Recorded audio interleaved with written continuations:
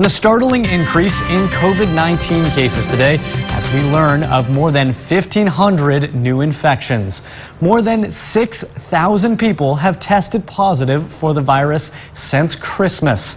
The virus is spreading more now than at any point during the Delta surge, and we haven't seen community transmission like this in a year.